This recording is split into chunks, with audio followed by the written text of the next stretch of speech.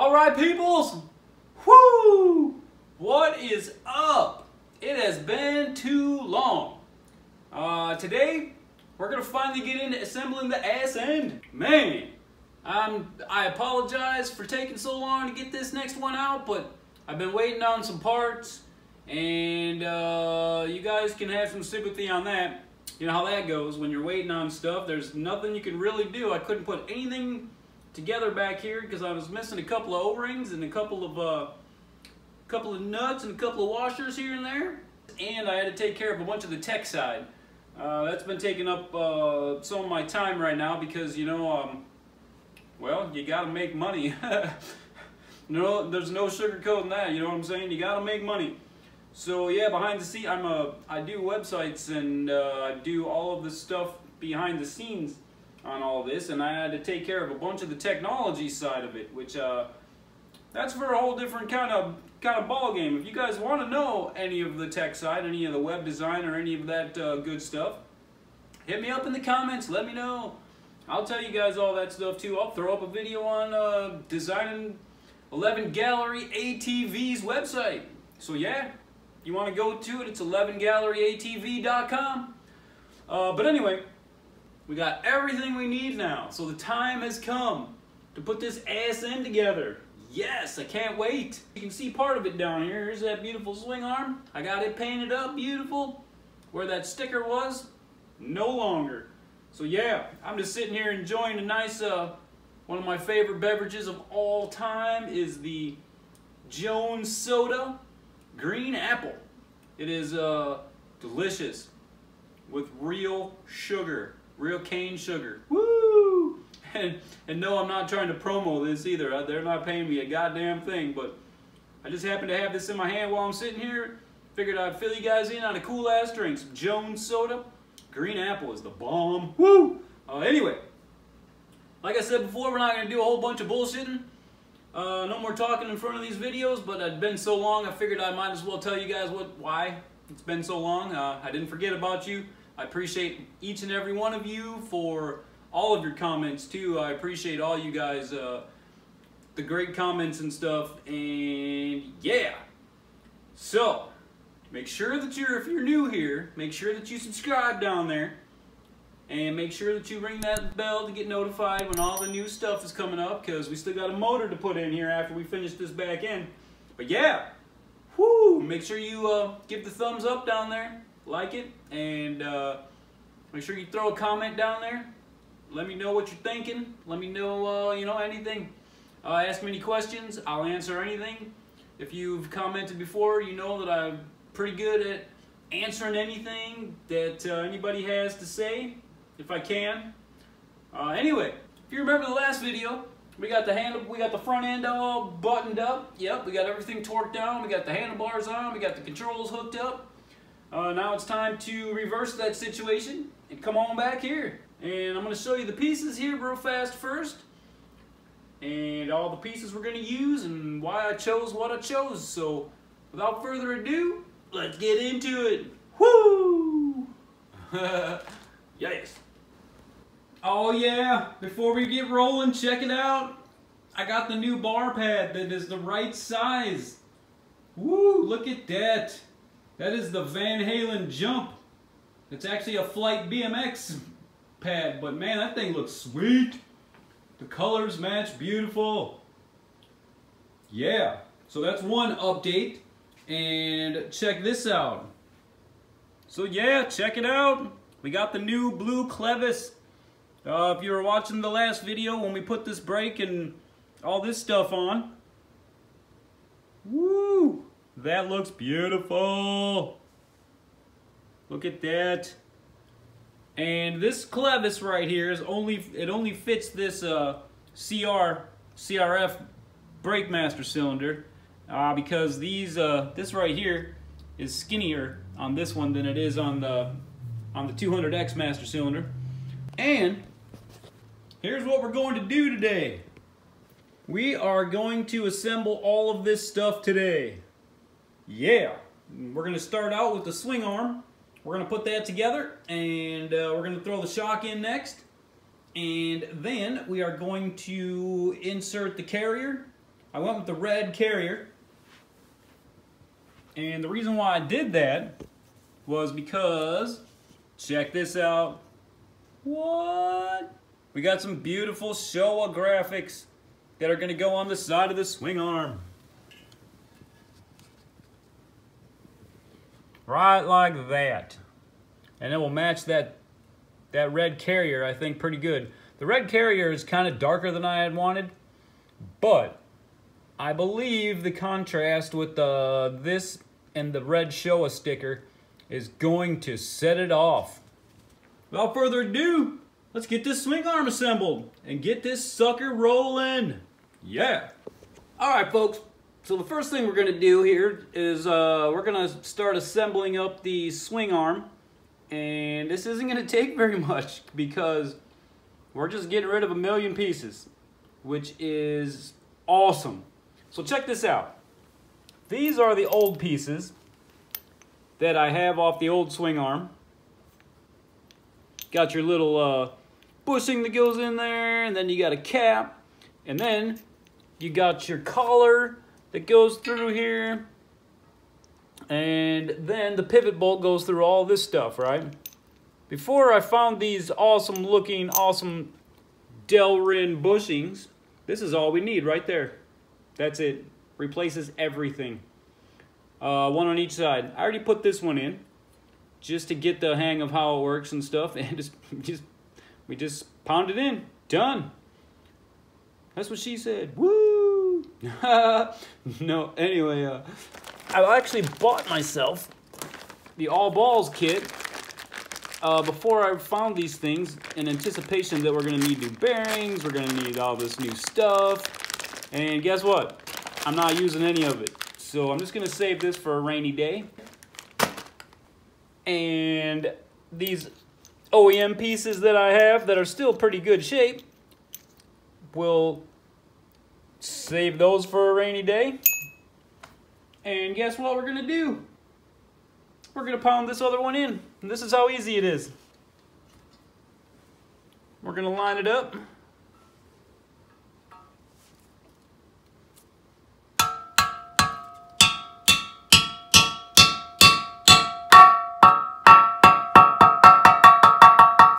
till it bottoms itself out. And that's that. Man, how easy is that? And check this out. The pivot bolt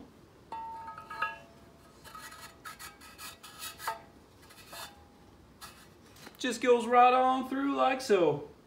Of course, we're going to grease it up and uh, put it in the frame, but you get the picture. That's it. That's all there is to it, peoples. We just saved all those pieces. Now, all right, let's get the rest of this thing together.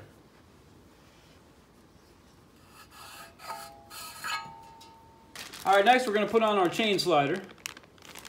And they still sell these. And our chain slider, our chain slider is just going to go right here. All right, we're gonna blue Loctite these.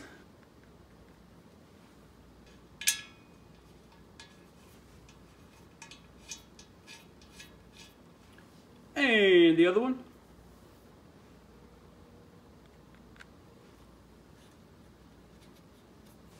And I am going to torque these to 88 inch pounds. 88. 88. And now we're chain slided up. There's really not much to uh, this swing arm. We do have one more thing to put in though. They don't sell these anymore. So we're to have to reuse the old ones, but they're in pretty nice shape, except for this, where the bolts go through, but uh, I think we can make do.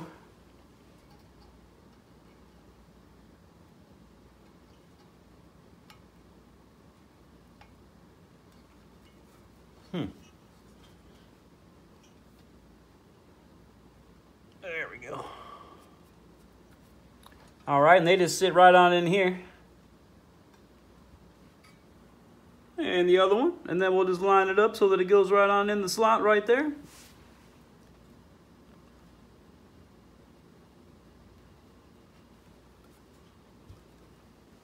And there we go.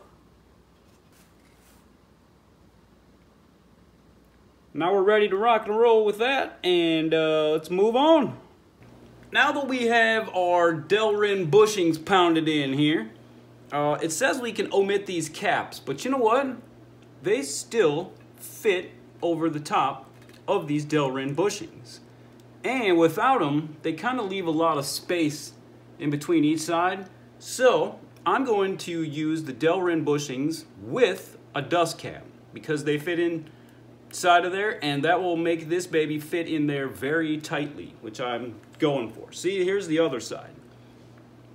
It fits right over the top.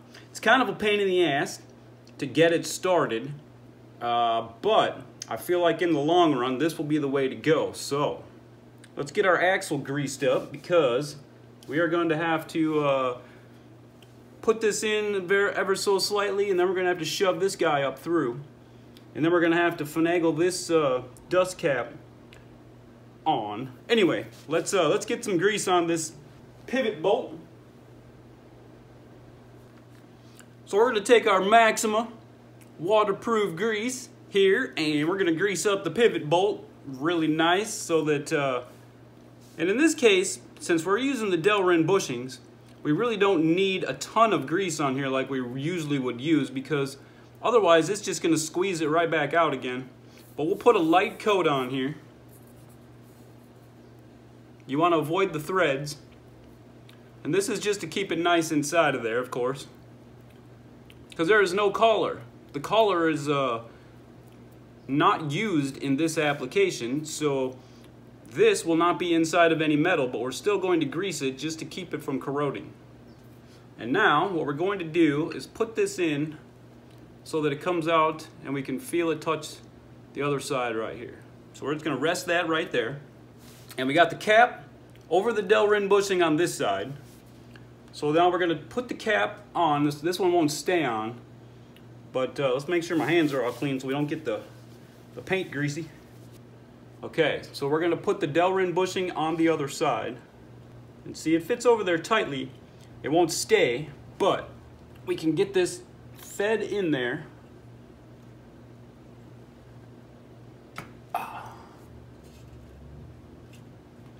And now,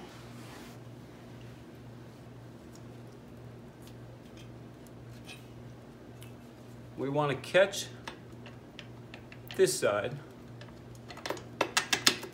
There you go. That's what we want. Then we're going to take our rubber mallet and we're just going to crank it on through here.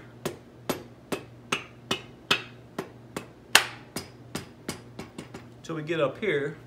And now we need to get this side situated.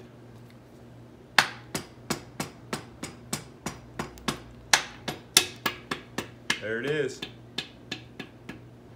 And look at that. Now we got dust seals on both sides.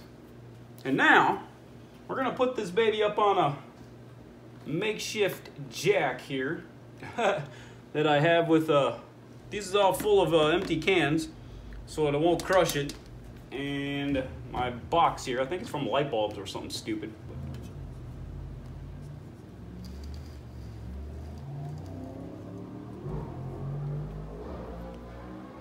Wow. All right. Somebody's out there ripping up the...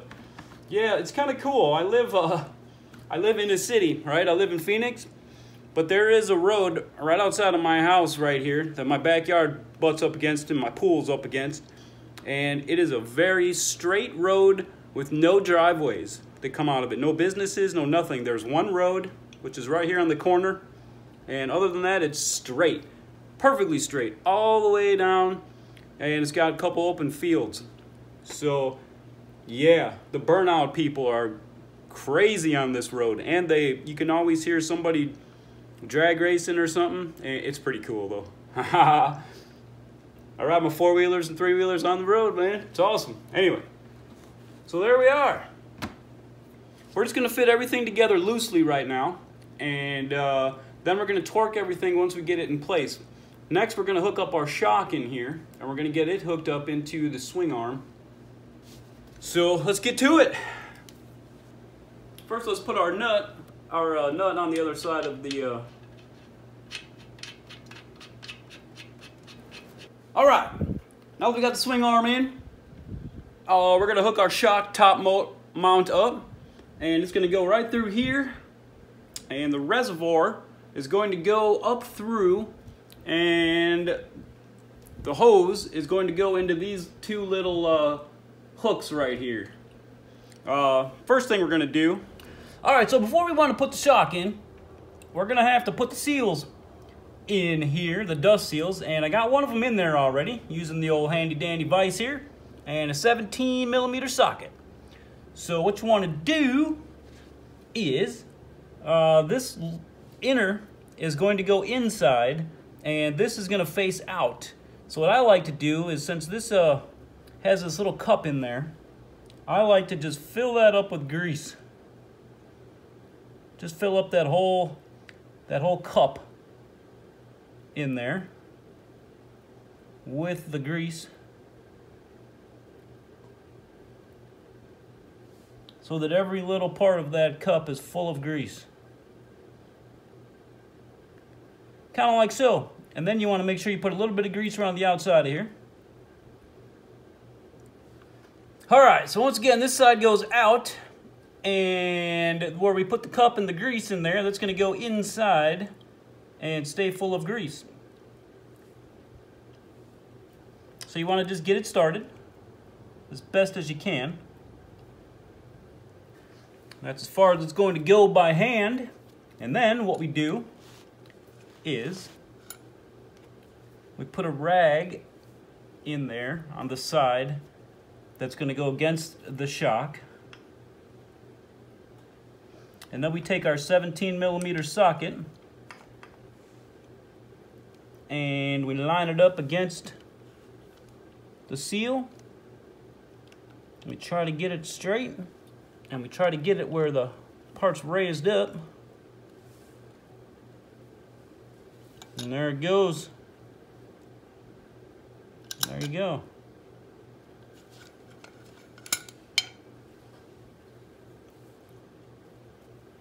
And you can see there's a little, it's raised up a little bit out here as well.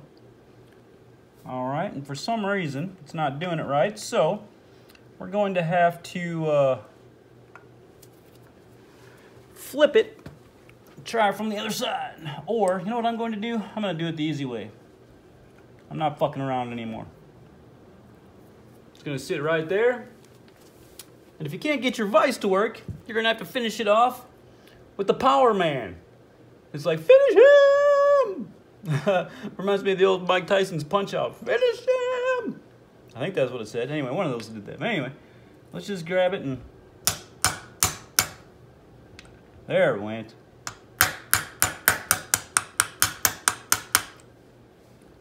Now it's flush.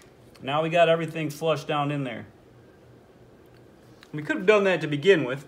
That's what I usually do anyway. I just tried this new method because I wanted to see if it was any easier than my handy dandy uh, hammering method. It is not. It, uh, I believe the hammering method works just fine and probably better because it went in there straight. So, now we can mount up the shock. Let's get the shock in the frame there. We got a little collar that's going to go through the top there and we're going to grease up the top of we're going to grease up the part with no threads right here so that it doesn't seize up inside of there and of course once again we have our Maxima waterproof grease in order to accomplish that so let's get it done all right yep so we're going to grease that up just a light coat of grease we don't want any on the threads and we want to try to try to keep it all in the collar and try not to get a lot on here because that'll affect the torquing, the torque specs and stuff like that. No torquing! Don't torque, don't affect the torque specs. Alright. That should be plenty there. Alright, next step, we'll put a little bit of grease on the outside of here. It's going to go through the the top of the shock there, so we want this all greased up nice.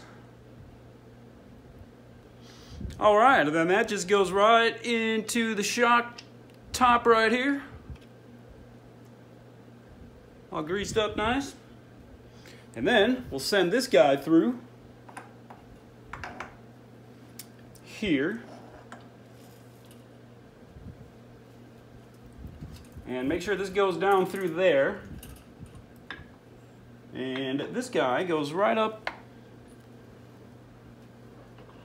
in here. And then we put the, the bolt through.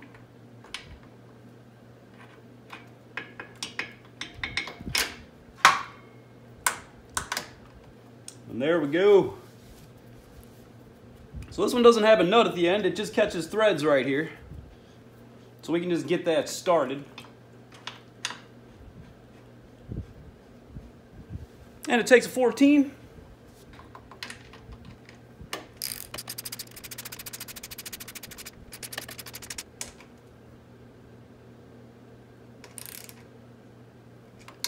Just snug that down. We're going to torque everything at the same time.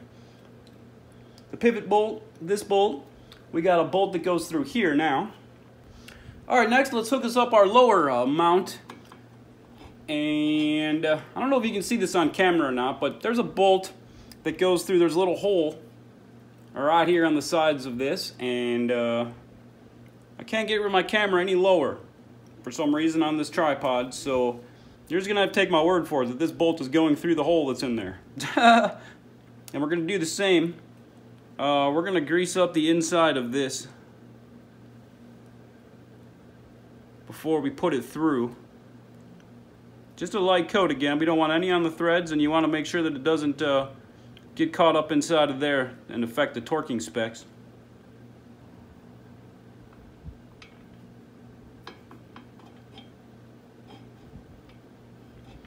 So yeah, what we're going to have to do is we're going to have to uh,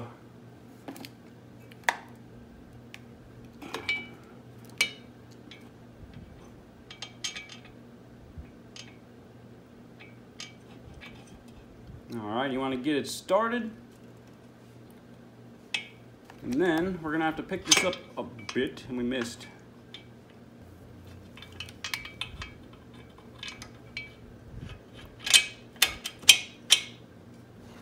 Just like so.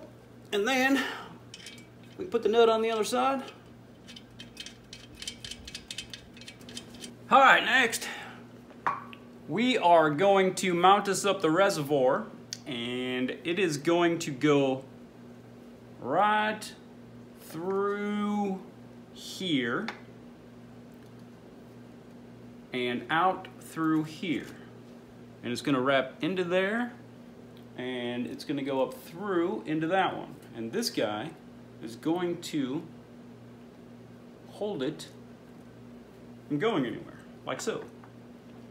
Now we can get on to putting it up on the side of the frame here all right, so the way this works now is it's gonna go right here and it gets these little bands that just have threads on them. All right, so the way these work, this little uh, space right here is going to catch the frame, so they're gonna rest just like this. And then they get a little uh, rubber piece that goes on the back, and there is one that goes on the back side with the little ridge right here that catches the back side, and there's one that catches on the front side. So they go just like so. And these little guys have a little slot cut into it right here that go right on like so.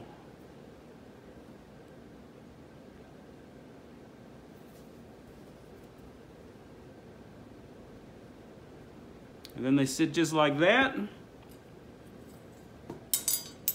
And then these guys clamp right on. Then they get a bolt.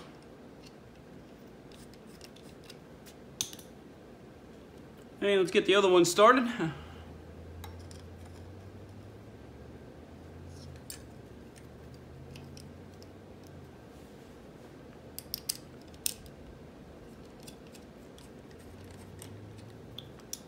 And I think the OEM ones were more like, uh, I don't know, I've seen different ways to mount these. I'm putting mine at the ends because, check this out, once we get the graphics going, we're gonna put, like I said, we're gonna put our Showa stickers, but we got a Schmitty Racing suspensions to get on there. So we're gonna have to uh, figure out how that's gonna work, huh? I say we go all the way to the ends, huh?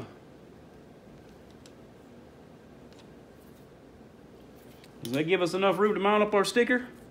Ooh, perfect. Almost.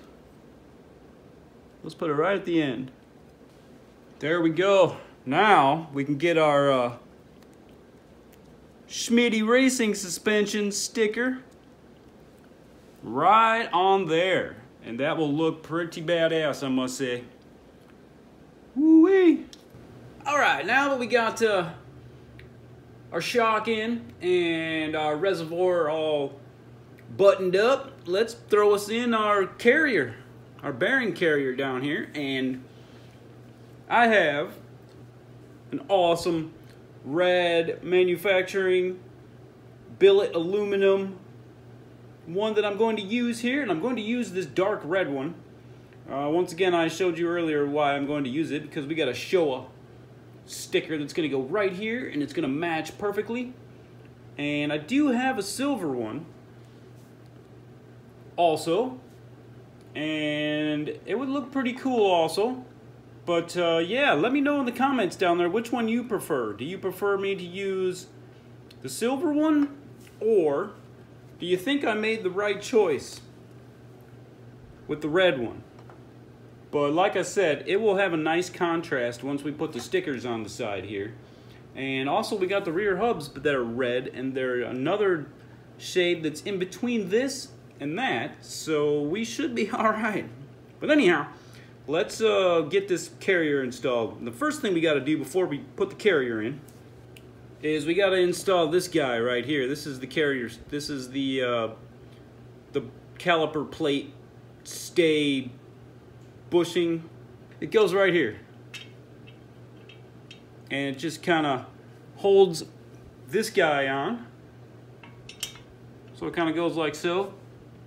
And then that guy goes in there. But we're going to have to put a, uh, a little snap ring around it first. So we got this little snap ring that goes on and holds it on. And what we're going to do before we put this guy on is we're going to put a little bit of grease on here. Even though we have fresh paint on there, a little bit of grease can't hurt. And in the snap ring groove, now we can put this guy on there. Ooh, yeah, see, that feels nice right there. All right, and then we're gonna take our snap ring and we're gonna also uh, grease this guy up with the excess we got left over just to keep it from uh, corroding, getting nasty. And then we can grab this guy with the snap ring pliers and we just Throw him on there. Boom. That's all there is to that. And now, we can get our carrier installed, and it's going to go, uh, this guy is going to be on the, the left side. And before you do that, you want to make sure that you grease up the Zerk before you uh, put this guy in there, which we've done. So what I'm going to do for safe measure is start out with some grease around the outside of here. And you want to get it on this rubber right here. Make sure that that doesn't get all corroded up. And on the other side as well.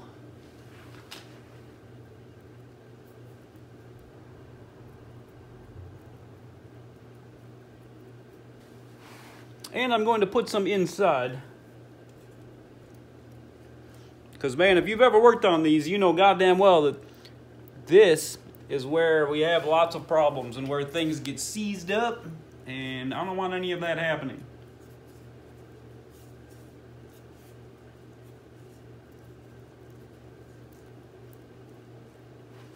All right, we got a nice coat going all the way through there. Now what I'm going to also do is I'm going to throw a coat onto here as well.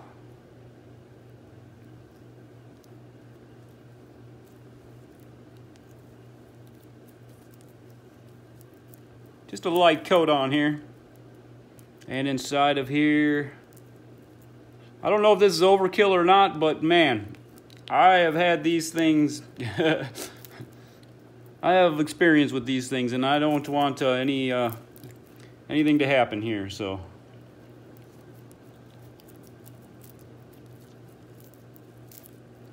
We can wipe off the outside of this uh, once we get it all the way through because my hands are just full of grease now and there's no way I cannot touch it. So,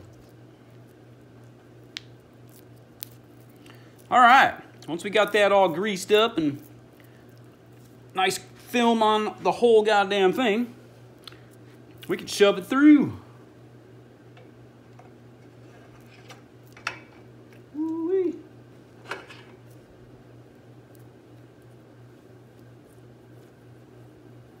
You know we got the excess on my hands. We can get this seal greased up a bit. And we can throw a little bit in here too. We'll have to clean up some of this, but we do want some on here too because we have an O-ring that goes on here. Let's get that other uh, seal.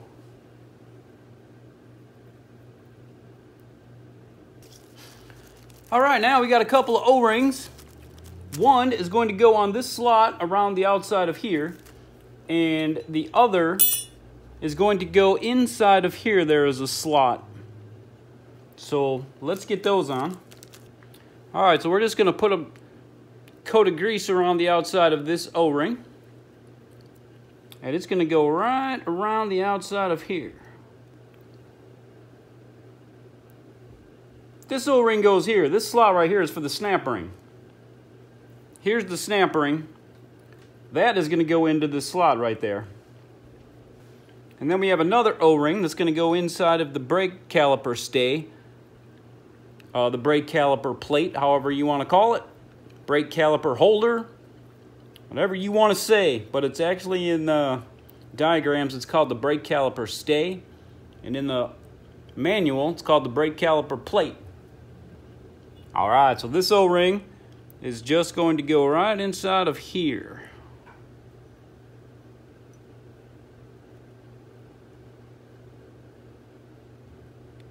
And it's kind of a pain in the ass to get there.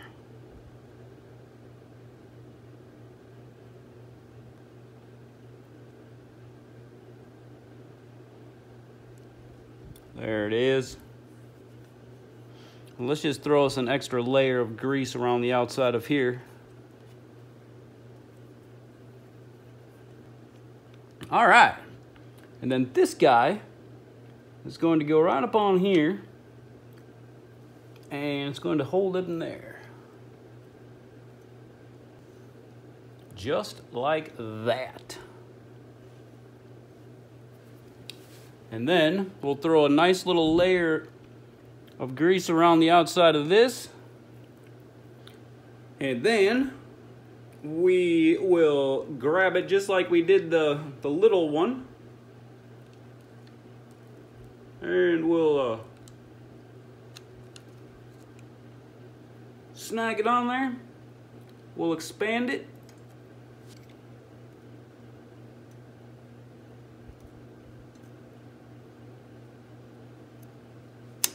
There it goes. All right.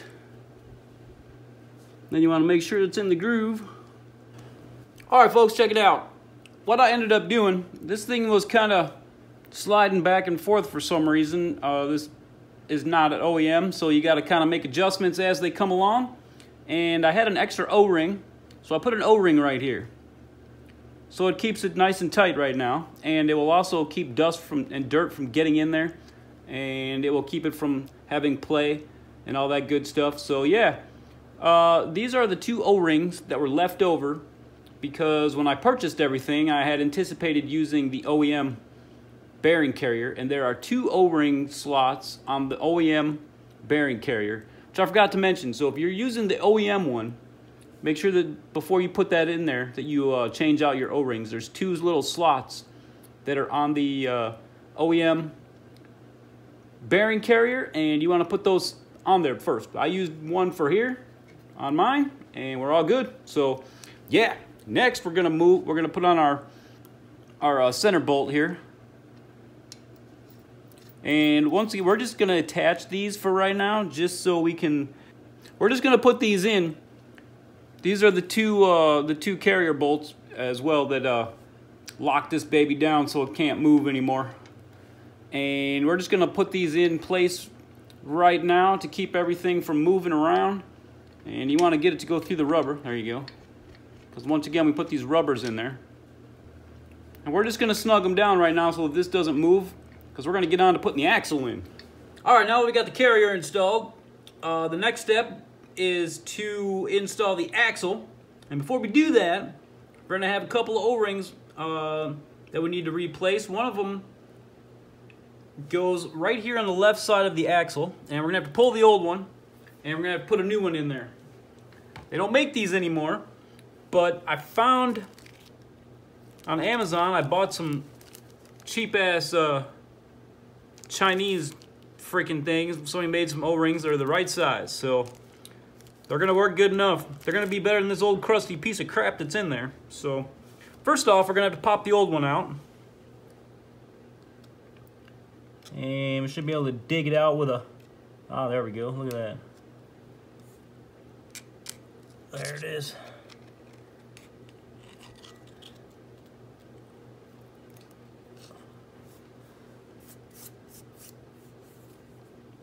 All right, see this thing is a, uh, see you can, you can tell when you stretch this old one that it's kind of hard and it's not in super great condition. But see this is the new one and this is the old one. They're pretty close to the same size. All right, so let's get to, once again, we're gonna use our Maxima waterproof grease and you definitely want to get yourself a container of this because Man, I use this in so many places, and this stuff is just the bomb. All right, so what we're gonna do is we're gonna, actually the first thing we're gonna do, the first thing we're gonna do is clean this guy out. See, look at that. You definitely want to get that stuff out of there. so let's grease up uh, our new O-ring.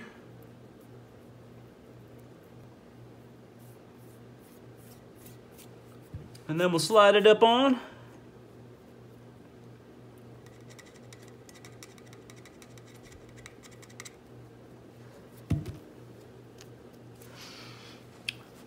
And there we go. New O-ring plunked in there. All right, folks, so as long as we're doing the O-rings, we might as well do the other one too. There's two of the same size. The one that came out of here is one, and then there's another identical size O-ring that goes inside of the, the lip of this, which is the brake rotor stay, the brake rotor holder, which is going to go, it's going to slide up on here actually, and sit like so. So let's get us, you guessed it, whoo, some more of our Maxima waterproof grease. And we're gonna grease up this dog and yeah. So let's get that greased up. And then it just goes right inside of this little lip right here. It's kind of a pain in the ass to get started.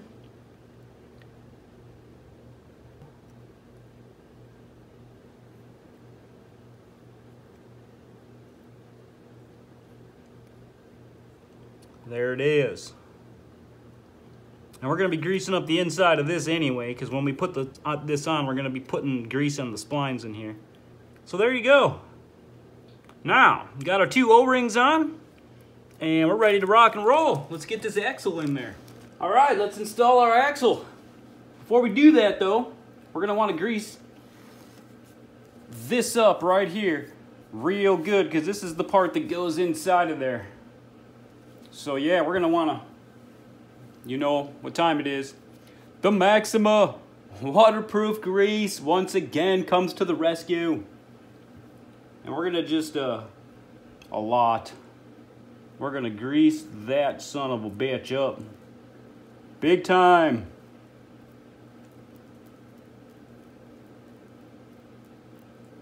And a little bit right there. Just a little film right there. We've already greased up the lips on the carrier, so let's shove this guy right on through.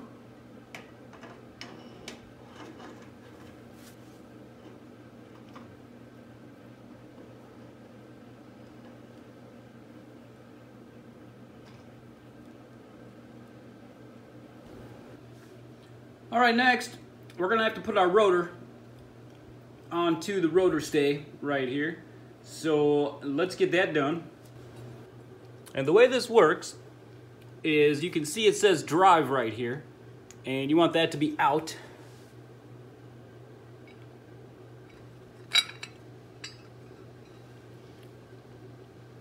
And since these are old bolts and nuts, I'm going to use some blue Loctite on these. You probably don't have to, but I'm just going to.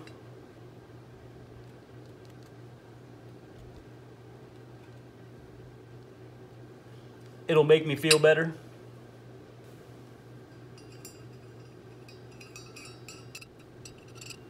And these get torqued between 14 and 22 foot-pounds.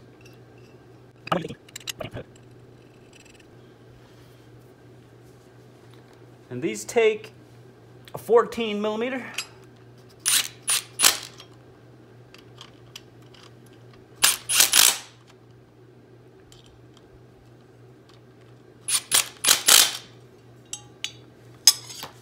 And this one's going to be a pain in the ass because it seems to want to move.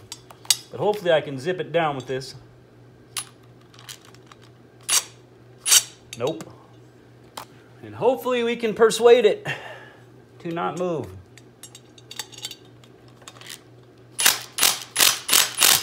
Oh.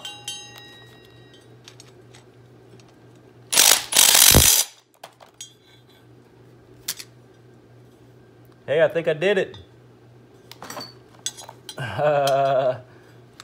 All right, I tricked it. All right, so we're gonna install this first before we torque it. So let's just get some grease up on in here.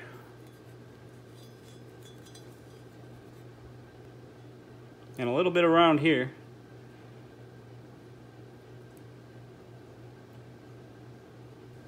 And then make sure you put it on this direction, of course, because this right here is going to go into the carrier seal.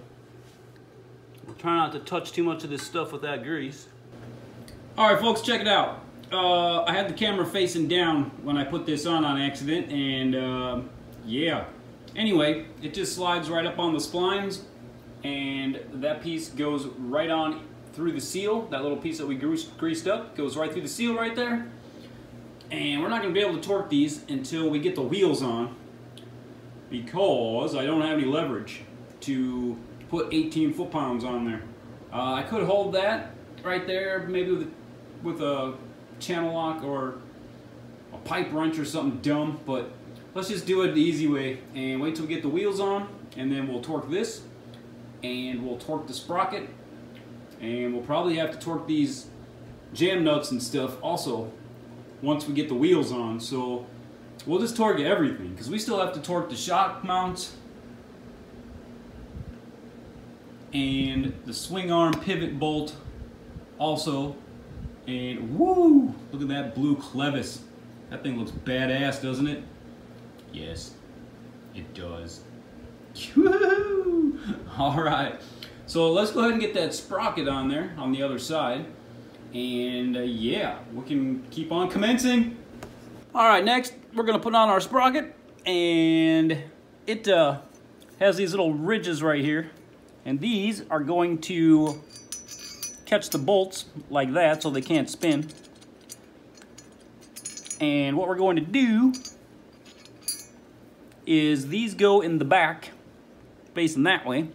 So you want to put this on the axle first and slide it on through here like this. Line it up like so.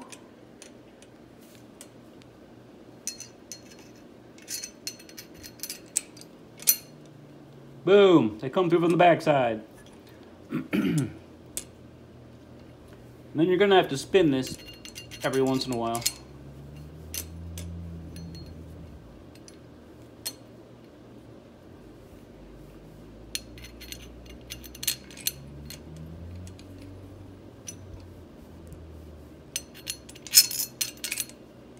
All right.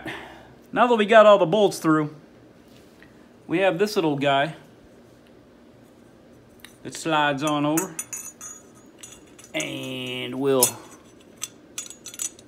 fit right on across the top of all these.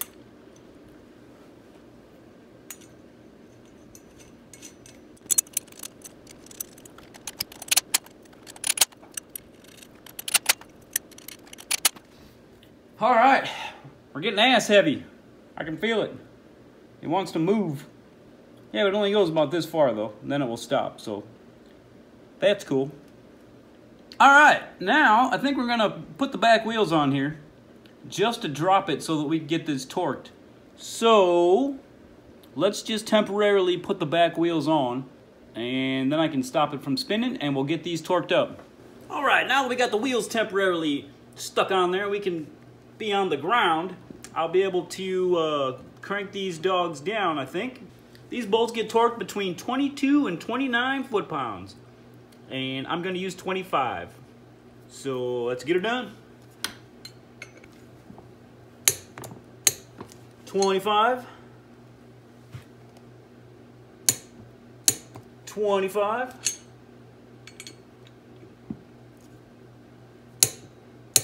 25. And 25. Let's just make sure of all these again. 25.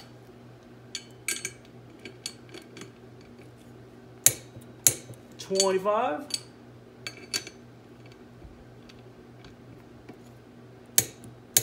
Twenty-five.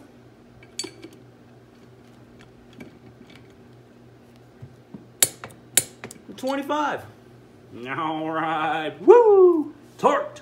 We're torqued. Torque, torque, mm, torque, mm, torque, torque. All right, now we can move on to the rotor. And these get torqued between 14 and 22 foot-pounds. I'm going to use 18 foot-pounds. So let's get it done. And this one's going to be a bit tricky because of the, the one we have that didn't quite work the way it should have. 18. 18. Let's make sure that it kind of seemed like it was moving. Nope, 18. 18.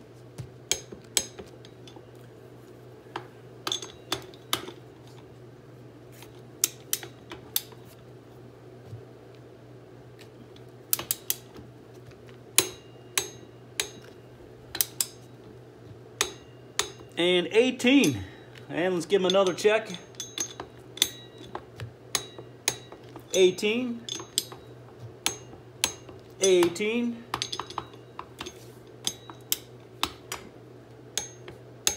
18. 18. And there we go. Rotor's torqued. Drive sprocket torqued. So let's get these wheels back off and uh, we can start busting out our, uh, our jam nuts here and we'll get this thing secure. All right, folks. Now it's time to install the lock nuts and the snap ring, uh, actually the circlip, sorry. We're gonna install the, the threaded sleeve with the lock nuts and the uh, collar and the circlip. So what's gonna happen is we're first gonna thread on and they're gonna go this direction and this guy is going to, this flat end is going to butt up against here. So first we're gonna thread this stuff on like this.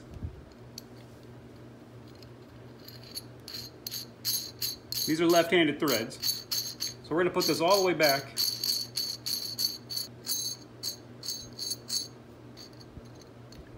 and then this one all the way back.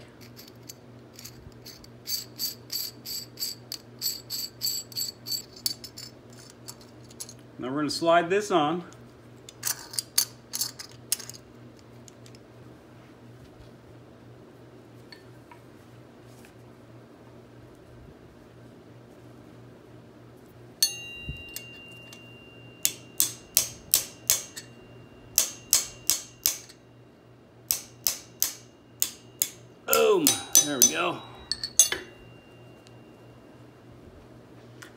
We have the lock, the jam nuts on there and the jam nut sleeve, we're going to put on the circlip and the circlip collar. So the circlip collar goes first. And you want to make sure that it's pointing out like this because it's going to back up into the circlip and cover it with this and mine is kind of mangled. It only goes one way. So these two little notches right here are where the, the circlip opening is going to go. Which yours should probably shouldn't have that problem, but mine's going to go right about there. And that's where the circlip opening should go. So let's just put a little bit of grease on here.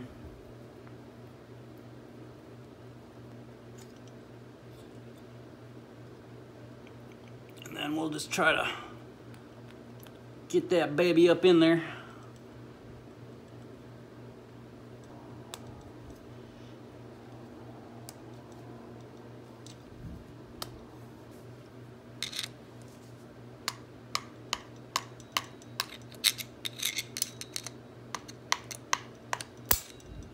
Okay.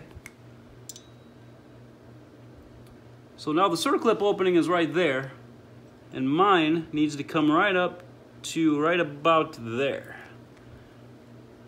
And it's got to cover it somehow. This is not going to be an easy chore because this thing was mangled. They don't make this crap anymore, so I couldn't buy any more anywhere. So, got to make do with what we got. So let's try to fit that collar over the circlip.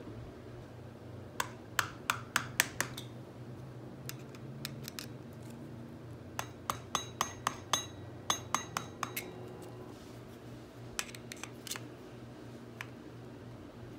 Okay. Okay.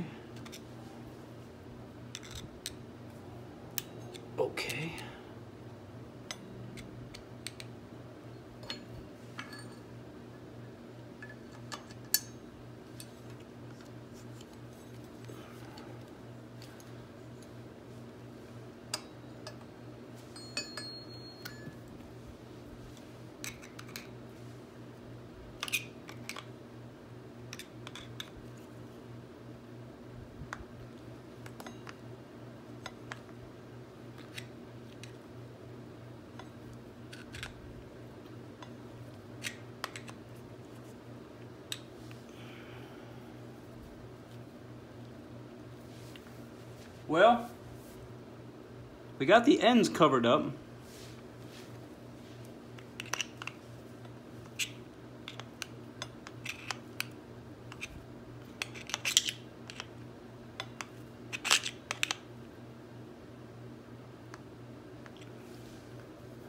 I think that may work. Let's see what happens.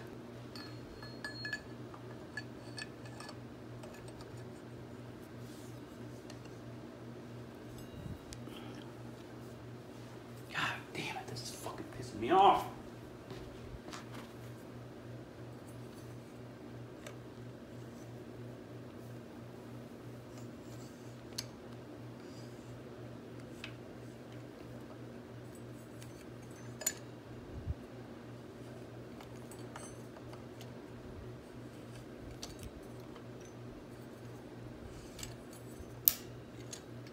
Ooh, uh-oh.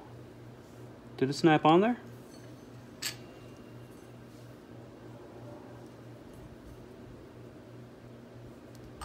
It snapped on there. Whoo! What? I heard it snap. It snapped on there. Oh my God. All right, now hopefully we'll be able to give this some kind of torque because uh, if not, we're in for a world of hurt here. All right, folks. Now, this guy is going to get backed up into that, but we're going to apply some blue Loctite here. Before we do that, I'm going to put the rear wheel on over here on this side so that we can get it on the ground so we can back that thing up in there. I might have to put both wheels on. All right, peoples, we got the wheels on temporarily. They're just sitting on here. And that'll allow us to get some leverage onto this guy. We can torque it down. And with these Motion Pros, they have a little uh, space right there for the old torque slot. So, let's hook us up a torque wrench and get this baby torqued. And it calls for 58 to 72 foot-pounds, and I'm going to use 60. So we're going to torque this dog to 60 foot-pounds, and then we're going to put, apply some Loctite, and we're going to back this other one up into it, and it gets torqued to 72 to 87 foot-pounds, and we're going to use 74. So let's get to torquing. 60 foot-pounds on this guy.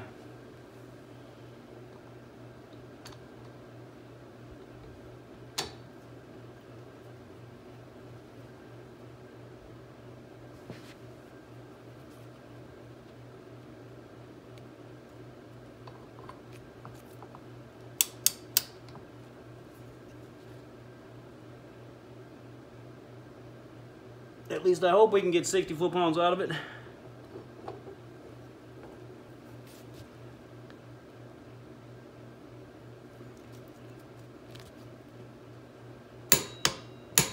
Oh yeah, 60 foot-pounds.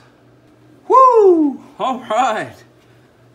Now that guy was not an easy chore, but we got it done. Now we're to take some blue Loctite and we're to dump it on the threads here.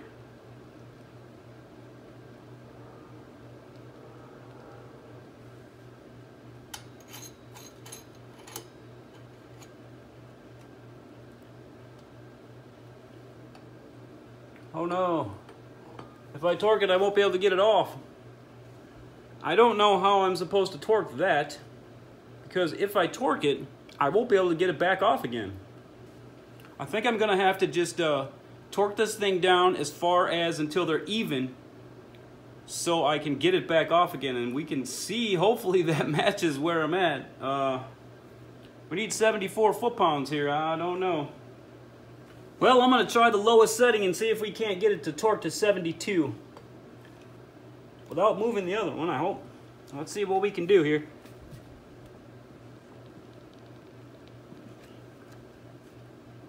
I think we're even, and I don't think I can torque any farther. Because see, now I can get it off. I'm going to have to leave it like that. With the Loctite, I'm just going to have to keep an eye on it.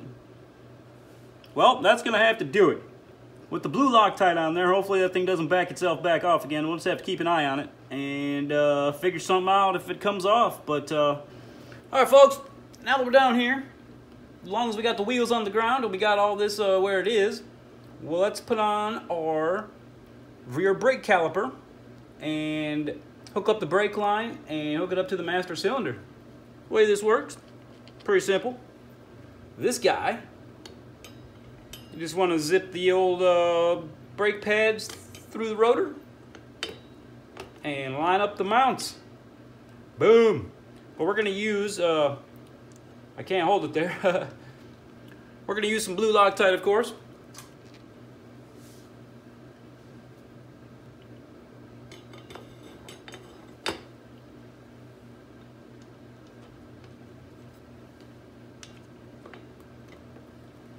And we'll blue Loctite the other one.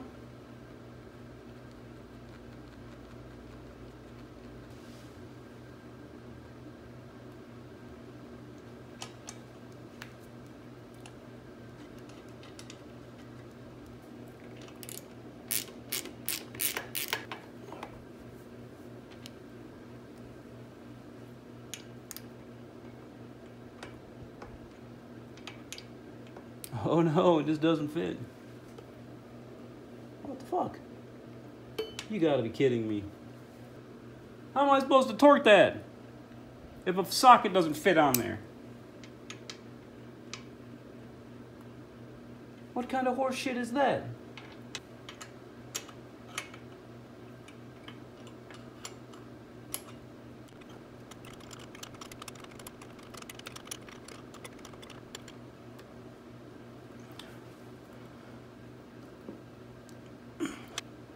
All right, well, these are supposed to get torqued to 18 foot-pounds, but I cannot get a socket to even fit in there.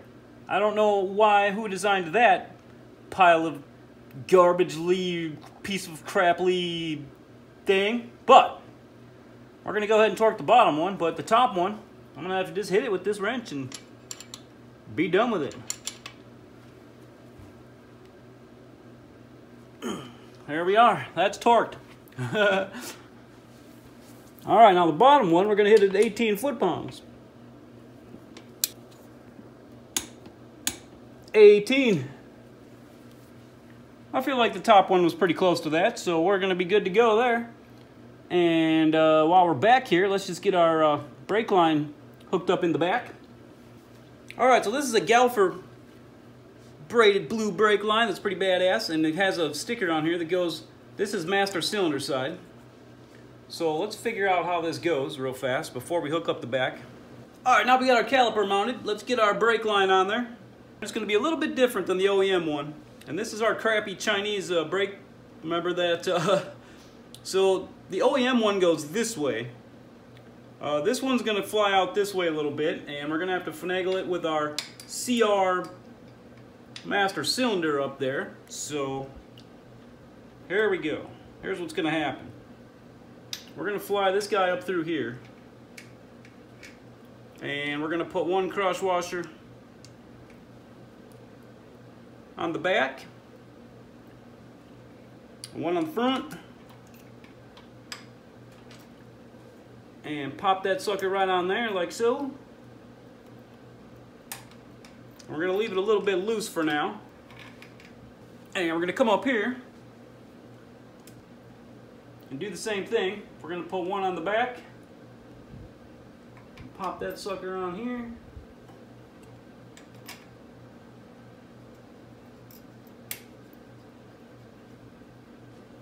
And then it's going to fly all the way out here.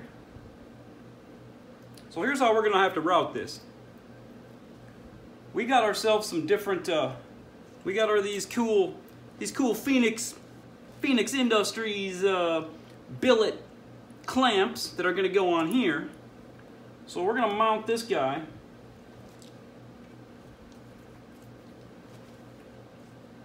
Right like so. And then right like so. And that ought to keep it away from everything. And we kind of lucked out. Check it out. It's good that it goes this way because that's where we need it to be right now. So we're just going to clasp this guy on here. Right down in here. And this is a tricky one.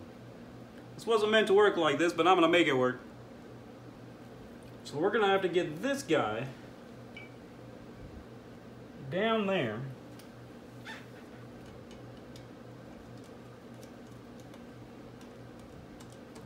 Yes, we caught it.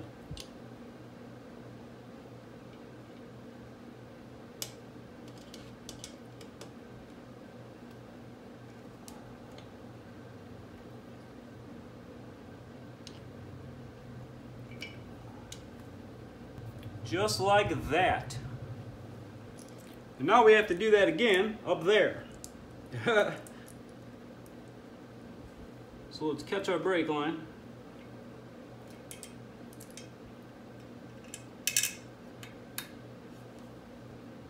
And these have nylocks too, so there's no need for any Loctite or anything on here. And hopefully these don't back out. They, they should hold pretty good. So let's get this in here.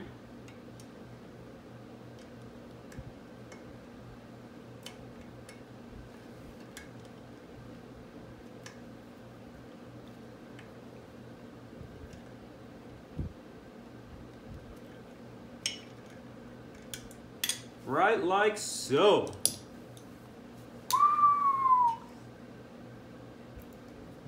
And that takes care of that. Now, we can torque these banjo bolts and they get torqued between 18 and 25 foot-pounds.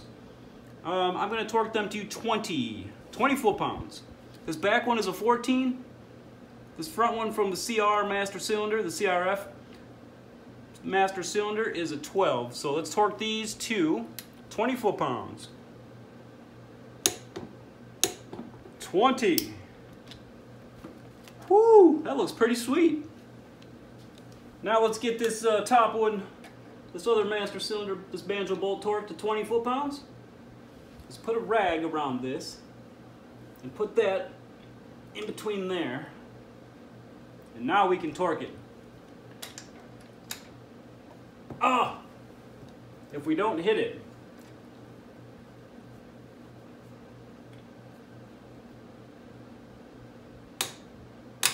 20. And there we go, folks. Braked up, ready to rock and roll. Now let's get the rest of those, uh, the pivot bolt and the shock mounts torqued, and we'll be done back here except for the wheels. We're not going to torque the wheels, though. We're not going to get the wheels torqued until we uh, can get the motor in it, because we're going to need a drivetrain in order to, to get these, uh, these castle nuts torqued, I think. Maybe we'll give it a try. All right, before we move on, let's get rid of the sticker. We know which way goes where now. Now, let's get the pivot bolt torqued. All right, the pivot bolt gets torqued between 51 and 80 foot-pounds, and I am going to use 72. So it takes a 22 millimeter on this side, and a 17 to hold it on the other side. So let's get this baby torqued up. Ah, 72. All right, now let's hit the shock mounts. And they both get torqued from 29 to 36 foot-pounds. And I'm going to use 32 foot-pounds.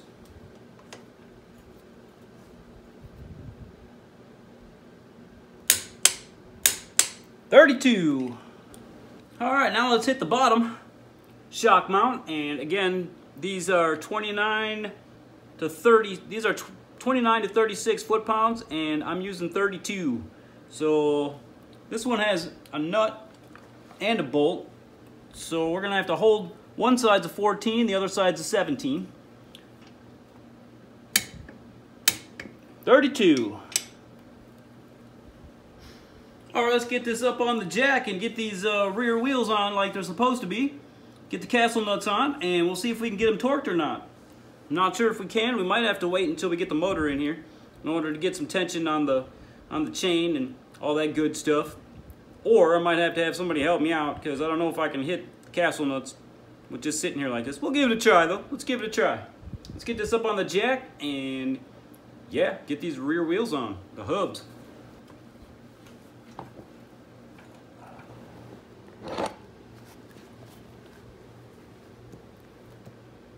Alright folks, so basically these splines right here are where the wheel hub's going to go on. So we're going to get some grease up on that. And we got ourselves some brand new OEM uh, castle nuts. Yeah, look at those fine dogs. So check this out. Um, funny story. I got everything ready to go, right? And the axle threads on the other side were jacked up. So what I had to do I'm going to throw some pictures up of me doing it. I didn't record it for some reason, but check it out. I had to take an old castle nut. These are like Chinese pieces of crap. And I cut it in half with the Dremel. Show you a picture of it while I'm doing that. And then I had to put it on here backwards like this and match it up. And then I had to put some vice grips on here and then back it off to clean the threads back out again because they were kind of mangled from somebody hitting it with a hammer, which kind of sucked. Uh, but yeah, then I got all the threads kind of cleaned up, but I still couldn't start a castle nut on there, so I had to file and file, and finally I got the threads hooked up so that we can get a castle nut on there. Uh, yeah. So that's how that happened. Anyway, let's get back on down to business. So we're going to grease up these uh, splines. So that we don't have this thing season up on there. And then basically, I have the hubs already inside the wheel. They're just uh, kind of hand tight on here. And you understand how this works. If you don't know how to take a tire off, then uh, you have no business watching this. anyhow, uh, now all we do is we line up these guys, these uh, threads, the splines with the splines. And we'll throw that dog on there. Boom. And then we zip a castle nut down.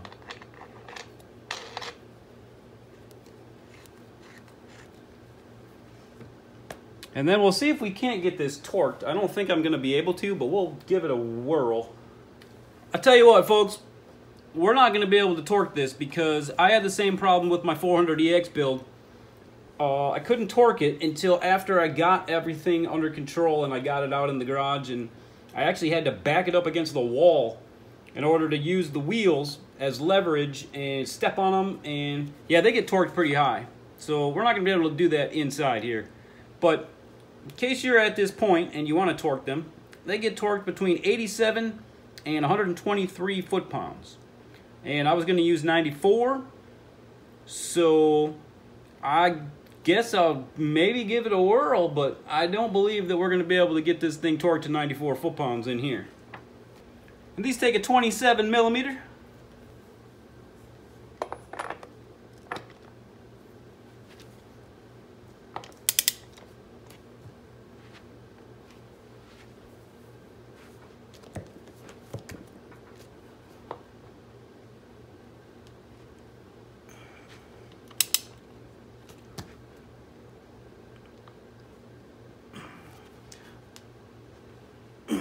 Yeah, we're not going to be able to do that in here. I'm to need some leverage. So we're to have to wait on that. But anyhow, I gave it a shot, but you uh, you got the specs. And we'll just uh, have to wait on this dog. I'll get the other one done, and we can call this baby a roller. All right, once again, we're using our Maxima waterproof grease. Let's get those splines greased up on this last side.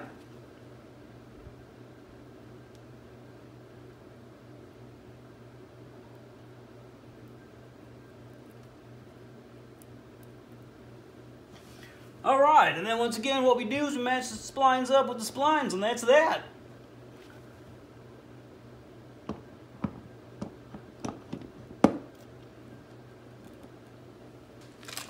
Let me throw us on our uh, brand new castle nut.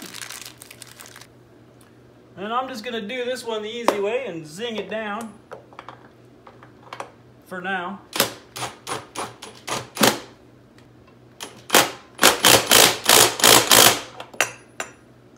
And then we'll get this baby torqued up to uh, 87 to 123 foot-pounds. And I'm going to use 94 as soon as we get on down to town. But we got our wheels on, and yeah. Oh, the lock. The uh, lug nuts also, they get torqued from 43 to 51 foot-pounds. And I'm going to use 47. That's the same number that I use on uh, the 400EX, 47 all around. And we're just going to use 47 on here as well. Keep it in line with the other dogs. So yeah, there we are. We got us a roller. Now we can get this off the jack. And uh, yeah, let's get it off the jack and uh, check her out, shall we? Yes, we shall. Woo! What a beautiful thing this is. Yeah. All right. Man, look at that. All of our hard work has paid off. And look at how clean all of that looks. Oh my God. I can't wait to throw the motor in here. Woo! Oh my God, it looks so sick. All right, folks, check this out. We were only missing one little thing to make this thing uh, badass. And what? What? Oh Oh my god! Look at how sweet it is! Look at that beautiful piece of machinery! Oh my god! It wouldn't be complete without the rear fenders on there. Now we just need the gas tank